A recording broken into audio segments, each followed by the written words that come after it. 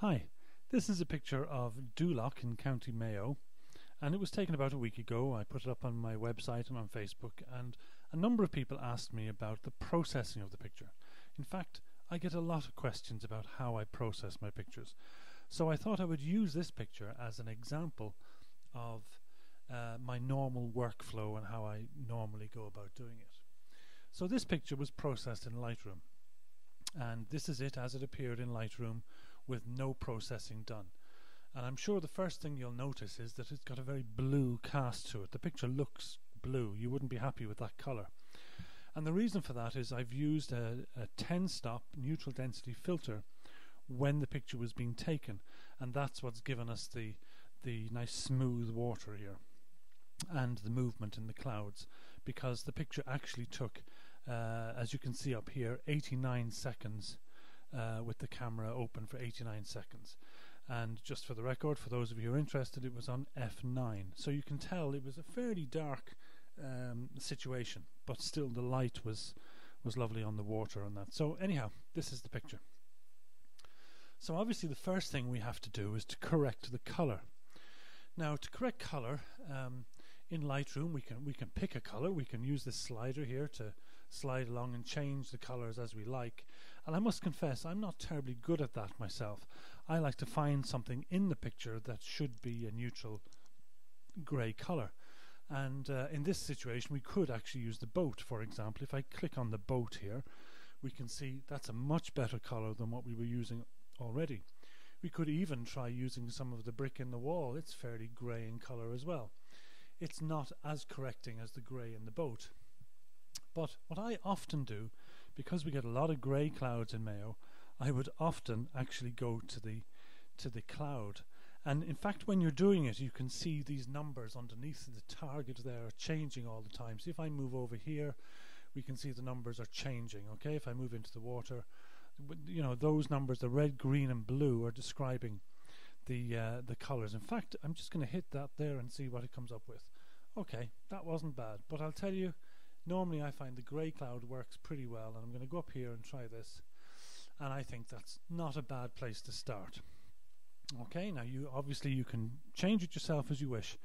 Um, one of the things about color balance is that, particularly in, in landscapes, I don't think there's such a thing as a correct color balance. Um, I think you can have uh, you know, it's very much a, a creative decision. You can decide yourself uh, how warm or how cool you want the picture. But certainly it was far too cool. By cool, we mean blue uh, when we started. This is a bit better. Now I'm sure you'll agree that the picture as it stands looks a little bit bright. Okay, the the water is very bright, and again this is one of the creative decisions, if you like, that you take when you're making your photograph when I made this photograph, I made it as bright as I could.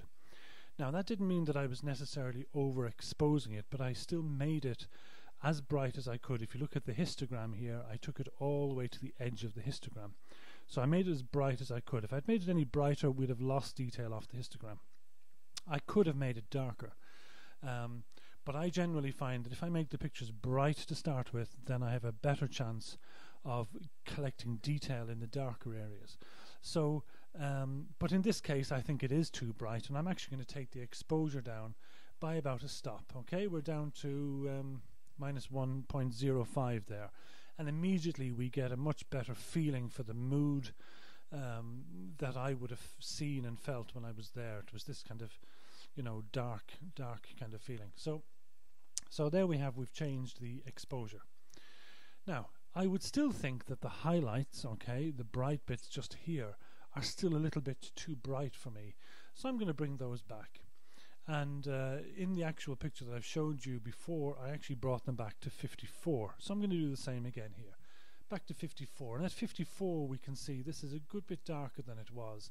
But because we only changed the highlights, not like the exposure, when we change the exposure, everything changes. But because it's the highlights um, slider only, it's only the bright areas, maybe one or two areas in the sky that have changed. But the dark areas haven't changed at all. Now, arguably, this is a little bit dark up here and a little bit dark over there. We could do with a little bit more detail in the mountain. So when it comes to the shadows, we can actually do with lifting those a little bit. So I'm going to lift those up, maybe 25, 26, that'll do. And again, we can see a little bit more detail in the uh, shadow areas because of that. The next uh, one we're going to look at, I'm not going to worry about the whites because, you know, it is already pretty white. I don't need it to be any whiter. But blacks, I think it's always good to have a black in the photograph. And so um, I'm going to take the blacks back a tiny, tiny little bit. It's only 10, 11, 12. Um, and all that means is that we will have some black areas in the picture. Very small black areas. And I'll just show you a little trick to, to see if you have a black area. If you press the Alt key, your and press the black slider, your picture goes black, or goes white rather. And anything that isn't white, those little black areas that appear, if I bring the slider right back, you'll notice lots of black areas, and they're in the darkest parts of the picture. All we want to do is go from zero down to where we can see those black areas beginning to happen. Okay, we can see it beginning to creep in there now. So I'm going to stop at that, 15, that'll do. Okay, so now we go on to clarity and clarity is the slider I always use. Okay, clarity gives us it's like contrast and uh, a little bit of sharpening all at the same time. And if I'm just going to move the clarity up to 27, that's where I had it in the thing. I don't know if you notice any difference. If I put it back to zero, if you watch the picture, you, will have seen that change. Okay, I'll go back up to 27 again, and it just gives us a little bit of kind of contrast, but it's not when you apply the contrast slider, it's affecting the darkest areas and the brightest areas.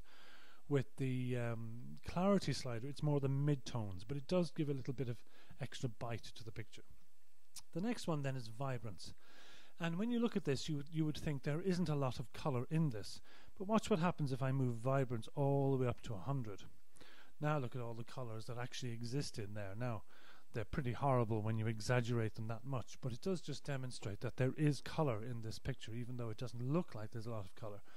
And so I'm going to put the vibrance up to about 27 or 8 again. Actually, no, I'm going to go higher. I'm going to go all the way up to 40. And again, that just gives us it gives it a little bit of a lift. Now we go down here. I don't worry about um, a lot of these things. I'm going to pass all those out. Split toning, sharpening. I will sharpen. I'll take the sharpening up to maybe 60, 65. Um, down here, this is an interesting um, uh, slider, if you like, or an interesting application here in Lightroom, which is the lens correction. And if I click just enable profile corrections, because I'm using a Nikon lens, um, it actually has a profile for that lens. And you'll notice that the shape of the picture changes slightly. This was taken with a 24 millimeter lens, a zoom lens, 24 to 85, but at 24 millimeter. And at 24 millimeter, it's bending things a little bit. And I'll just switch that off again. You can actually see it's almost like the picture has been flattened in the middle. Okay, so I would always do that. The last one then here is the uh, highlight um, or the post crop vignetting. And this is just going to darken the edges of the picture a little bit. I'll go right in so that you can really see it. Okay, you can see it's darkening the four corners.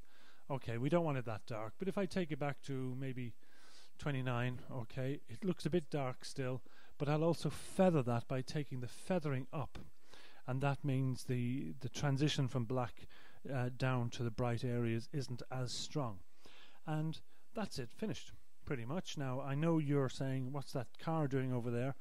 Um, to take the car out, I do have to go over into Photoshop. I'm not going to do that on the video. But what you've seen is the my almost standard, really. I mean, this that's how I process a picture. Um, and so here it is. This is the picture straight from the camera, and this is the finished picture in Lightroom. I hope you enjoyed it. Thank you.